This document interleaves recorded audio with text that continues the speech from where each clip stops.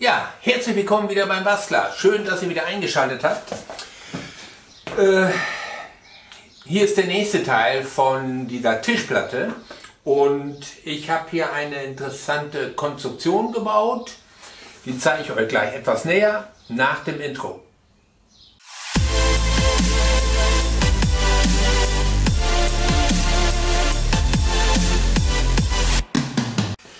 Ja, hier ist eine Konstruktion, um diese Bretter, die ich habe, diese Eichenbretter, nochmal zu planen, weil der Fehler war wahrscheinlich, dass ich die einseitig nur habe äh, hobeln lassen. Und äh, dann äh, ist es so, dass halt scheinbar auf der anderen Seite es ja immer noch sehr porig ist und da die Feuchtigkeit immer noch einziehen kann, obwohl hier auf dieser Seite wahrscheinlich nichts reinkommt, weil die Poren zu sind durch das Hobeln. Deswegen haben sich äh, zwei, drei Bretter etwas geschüsselt, also so ein konvex ähm, Eigenschaften und ja, ich will jetzt nicht neue Bretter holen, möchte das gucken, ob ich das mit der Oberfräse eventuell plan fräsen kann. Dafür habe ich diese Konstruktion und die gucken wir uns eben kurz ein bisschen näher an und dann starte ich den ersten Versuch. Ja, wie man das glaube ich ganz gut sehen kann, äh, ist es in der Mitte halt tiefer an den Seiten schüsselt sich etwas hoch. Und das werde ich jetzt mal versuchen mit dieser Konstruktion das auszugleichen. Hatte natürlich dummerweise schon diese Nuten und äh, Zapfen gemacht. Ja, äh, hat sich dann rausgestellt, dass man da eigentlich keinen Teller draufstellen kann, weil dann wackelt das alles. Es ist halt bei diesem Brett extra drehen. Das ist auch das schlimmste Brett, was dabei ist. So, jetzt habe ich das auf einem Tisch, den ich vorher versucht habe, ziemlich, äh, ja nicht in Waage, aber gerade zu haben, dass also da nicht noch ein Bogen drin ist. Habe mir hier noch eine äh, ja, Schranktür, natürlich eine alte Schranktür genommen, die lang genug war, die ich auch jetzt sehr plan drauf habe. Das habe ich vorher mal geprüft auch. Liegt hier jetzt drauf, habe ich festgezwungen und habe an dieser Seite was festgezwungen und habe diesen dann mit Keile arretiert. Und so, dass ich meine, dass es äh, plan ist. So, jetzt könnte man sagen, ja, schieb's doch einfach durch einen dicken Hobel oder einen Hobel. Hm, noch habe ich keinen, aber ähm, das nächste Problem ist leider, es dreht sich auch ein wenig. Hier ist eine etwas höhere Stelle wie da und hinten passt es ungefähr. Das heißt, wenn ich die durch einen dicken Hobel schieben würde, äh, würde es da genauso schüsselig wieder rauskommen. Zwar plan, aber eben verdreht.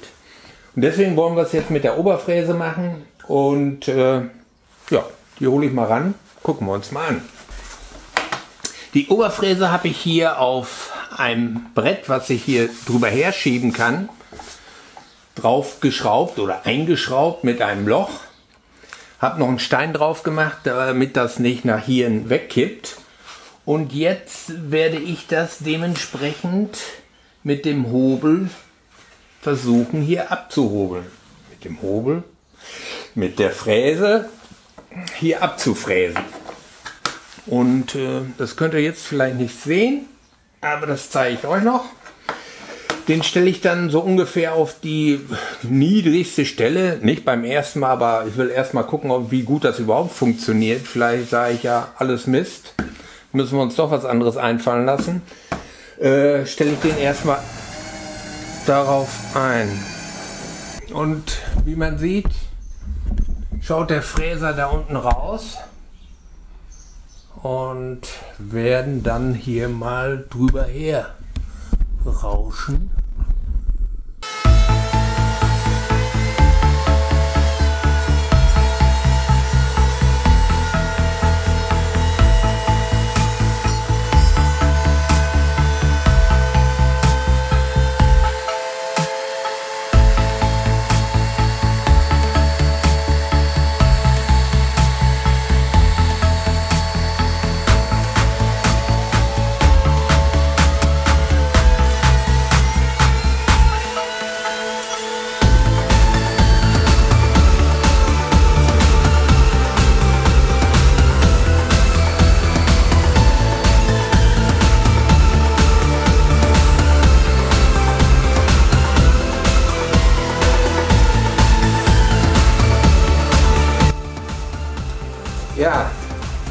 Wie man sieht, wenn man zu lange an einer Stelle verweilt, gibt es Brandspuren. Also müssen wir das im nächsten Durchgang vermeiden. Müssen wir nochmal rüber.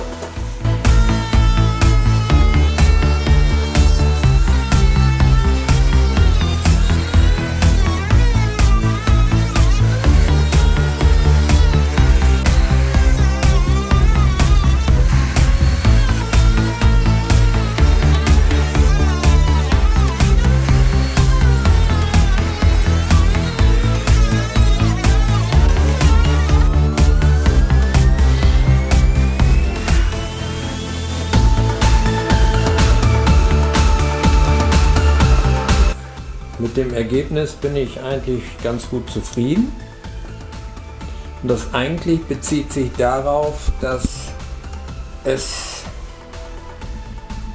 die ja, Konstruktion ein bisschen nachteilhaft ist, weil man damit mitlaufen muss und das ist dann doch ein bisschen mühselig. Und sonst äh, funktioniert es ganz gut. Ich habe da noch einen Abstandsklotz gehalten, so dass er genau die gleiche Höhe hat wie der Fräser. Und äh, das hat eigentlich ganz gut funktioniert. Bloß wie gesagt, man darf nicht stehen bleiben, dann gibt es eine Brandspur. Und das ist nicht so schön. Ne? Sieht man hier auch so ein bisschen. Auf alle Fälle muss ich mir da noch ein bisschen was einfallen lassen, dass ich nicht so viel mitlaufen muss und auf diese Länge dann äh, ja, sitzt man ja an einem Brett eine Stunde lang. Da werden wir uns dann noch mal was einfallen lassen, wie wir das mit dem Fräser machen. Wahrscheinlich mache ich mir da eine andere Konstruktion, die da so ein bisschen rüber beidseitig abgefangen wird. So meine Konstruktion hat also zwei ziemlich gerade Platten auf diese Schrankwandtür, äh, auf die Wandtür festgeschraubt. Damit habe ich eine gerade Fläche, womit ich mit dem Hobel drüber herfahren kann. Und die Höhe ist, ist jetzt bei diesen 25,5. Meine Bretter sind alle schmaler und von daher passt das gut. Dann braucht man nicht so viel vom Fräser absenken, weil der Fräser hat ja auch noch eine gewisse Dicke, äh, beziehungsweise die Auflegeplatte eine gewisse Dicke. So, da habe ich jetzt hier zwischen festgekeilt. Hier einen Abstandshalter und hier einen Keil. Auf der anderen Seite genauso damit der schön fest hier drin sitzt und nicht mehr wackelt. Das Loch, Erstloch, da muss ich mir noch was einfallen lassen, ob ich das ausfräse oder so. Muss ich noch mal gucken. 13,1, 13,1, 12,7, 12,7, 12,7.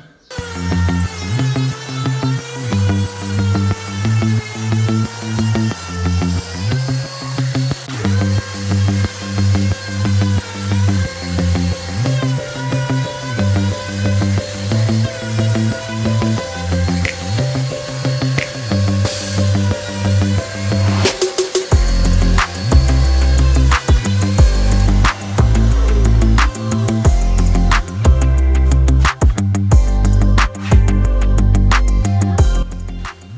eine anzeichnen, wo ich am Rand lang laufe.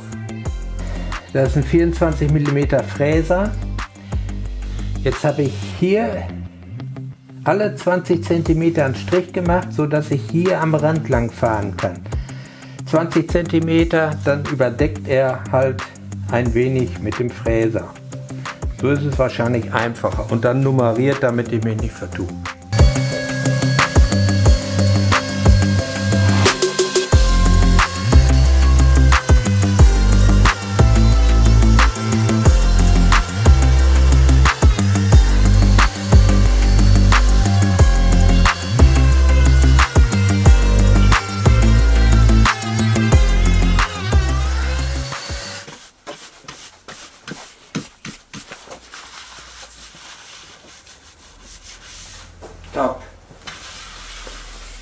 Besser wie gedacht. Ich weiß nicht, ob ihr es sehen könnt. Aber absolut gerade. So, bis hier am Schluss, da habe ich noch ein bisschen. Aber ich bin schon sehr begeistert. So, und hier ist jetzt der Zeitpunkt, wo ich gesagt habe, ich brauche doch einen dicken Hobel.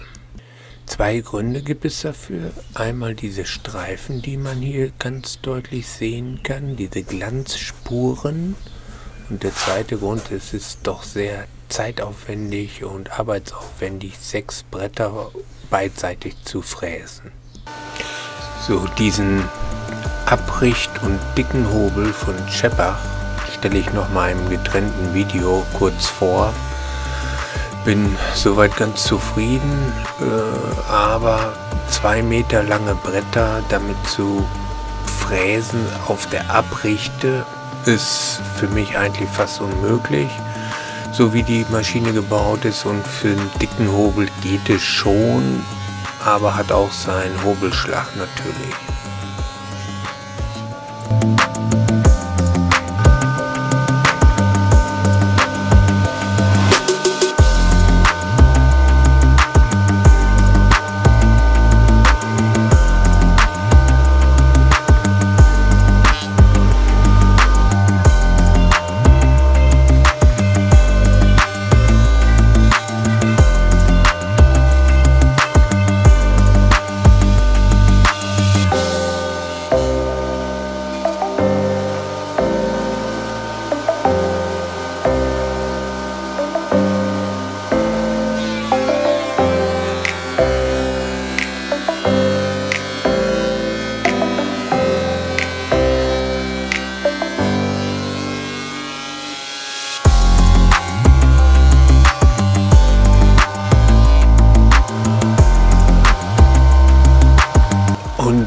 Nicht übertreibt mit dem Hobel absparen, dann reicht auch eine normale Absaugung, die mit einem 50er HT-Rohr oder Schlauch verbunden ist.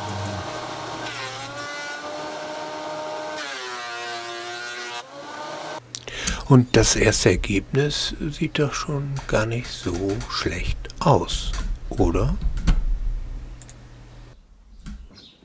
Und jetzt werden wir die auf eine Dicke kriegen.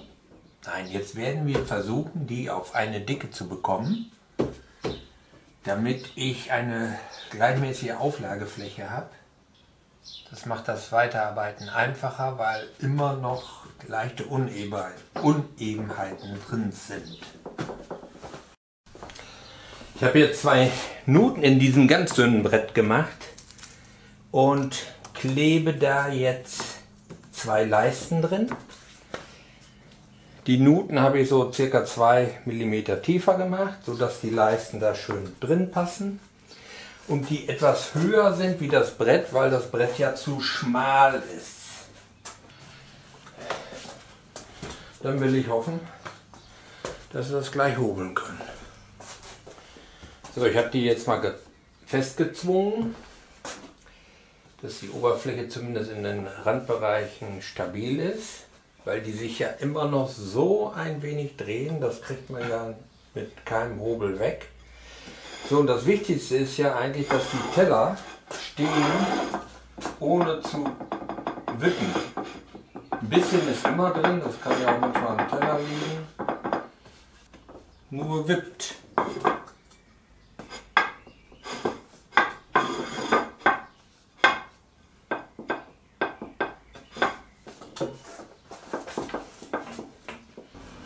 Also das müssen wir irgendwie noch ausgleichen.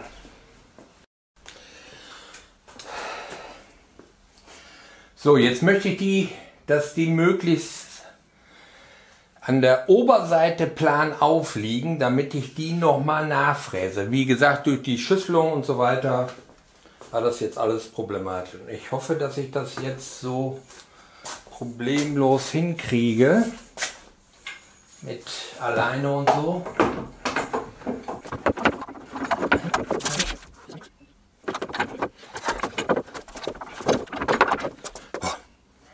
Ist alles schwer.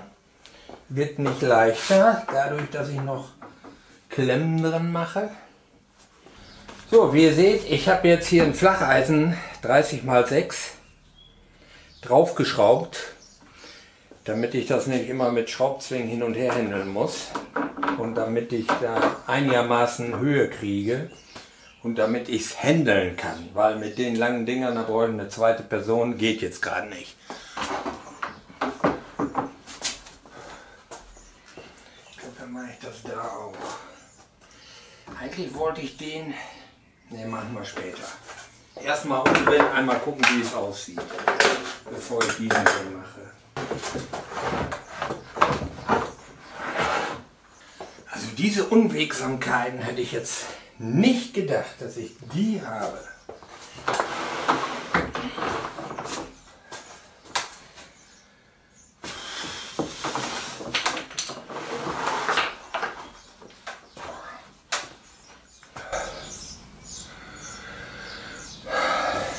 Hm. Ich krieg zu viel. Das gibt's doch nicht.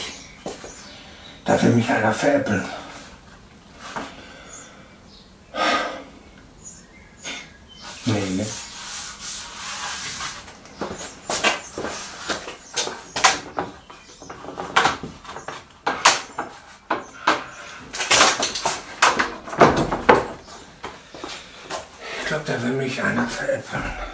Ich zeige euch gleich warum.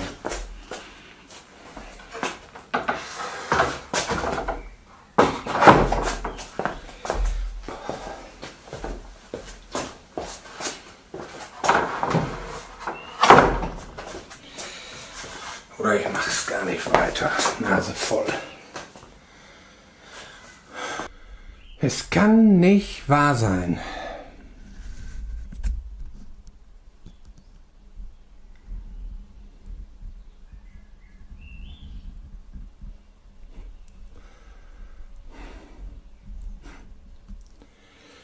Was sich vorher nach innen geschüttelt hat, schüttelt sich jetzt nach außen. Ey, das kann nicht wahr sein. Was ist das für ein Holz? Ach, das ist Natur. Ja, hätte ich doch Kunststoff nehmen sollen. WPC oder wie heißt das? Boah, ey.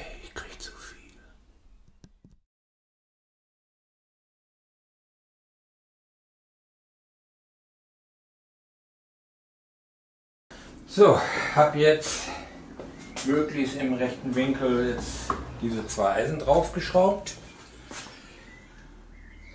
Ich hoffe, es bleibt auch so. Jetzt drehe ich das Ganze um, um das mal liegen zu lassen, wie weit sich das irgendwie wieder nivelliert, gerade wie ich keine Ahnung.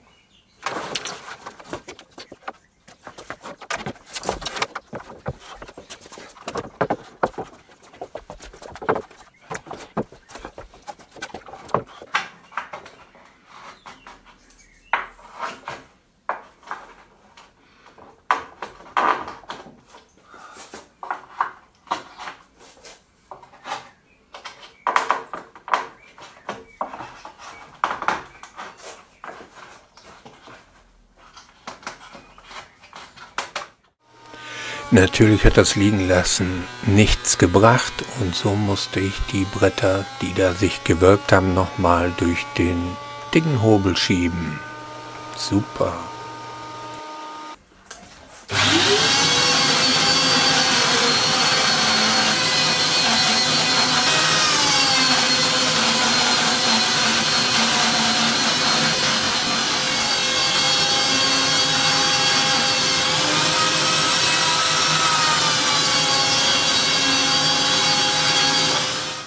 Ich ja noch einige hobeln musste und äh, die Abstände auch nicht mehr hundertprozentig waren, musste ich ja noch ein bisschen schleifen. Und jetzt bin ich hingegangen und bin ich hingegangen, habe jetzt die zusammengezwingt mit den Abstandshaltern. Dann habe ich hier eine rechtwinklige Platte drauf klemmt, die hier mit dieser Seite in der Flucht ist. Das machen wir hier die 90 Grad einmal mit dem Dings lang, mit dem Fräser. Und dann sollte das gut sein. Der Rest, naja. Ja. Ja, das, das passt. So, das müsste jetzt winkelig sein, arretiert sein. So, und da mir der Fräser ja rausgerutscht ist, bin ich jetzt auf alle Fälle hingegangen und habe mir einen Schraubenschlüssel gesucht, der in diesen Schlitz drin passt. Von der Breite her, weil alleine durch diese Arretierung mit diesem Knopf, das hat ja nicht geholfen. Hat man nicht genug Kraft ausüben können.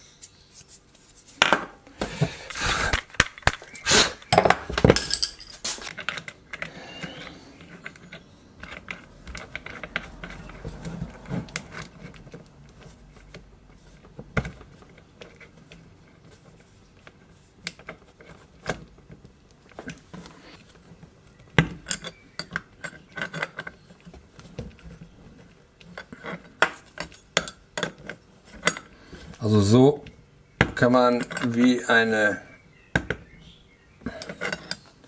Wasserpumpenzange das vernünftig zueinander ziehen. Wesentlich mehr Kraft, die man da aufbringen kann, um das fest zu bekommen. So, jetzt stellen wir die Höhe noch mal ein. Ich glaube, das ist ein bisschen wenig.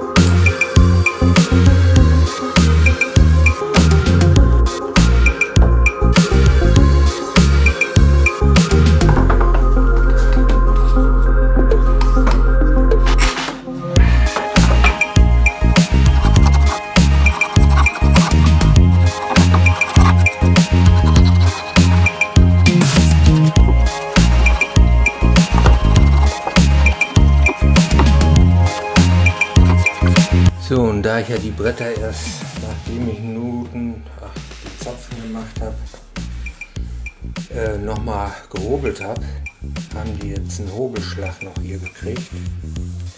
Dieser Seite. Weil das nicht schön aussieht, kürze ich den Tisch noch ein bisschen. Bisschen Reserve hatte ich ja noch. Jetzt muss ich halt diese Zapfen alle einmal neu machen.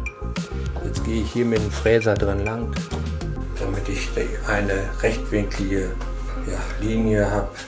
So mählich macht es keinen Spaß mehr. Aber aus Fehlern lernt man.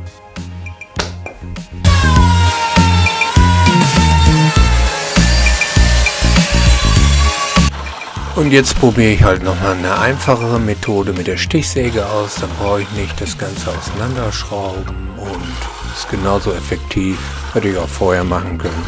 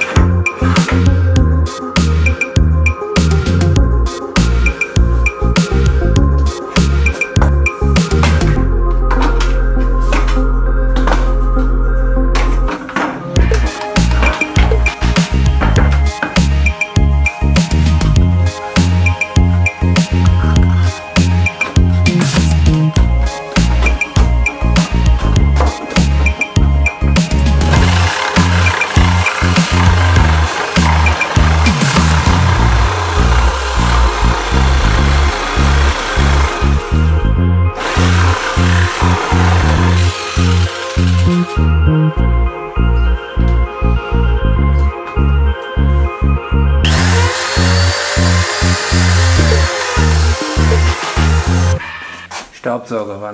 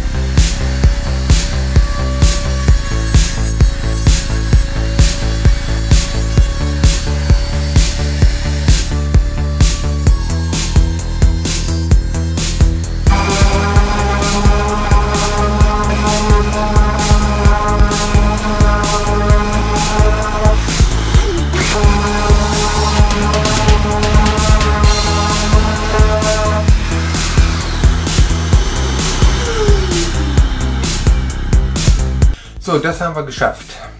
Jetzt darf ja eigentlich nichts mehr schief gehen. Jetzt müssen wir noch das Astloch äh, im nächsten Video noch stopfen, sag ich mal, rausfräsen. Und äh, wenn euch das interessiert, dann schaut euch das nächste Video an. Und damit ihr es nicht verpasst, bitte die Glocke aktivieren. Geht natürlich nur, wenn ihr auch den Kanal abonniert habt. Sonst bleibt mir nur noch zu sagen, äh, gönnt mir ein Like und dann tschüss, bis zum nächsten Mal auf diesem Kanal beim Bastler.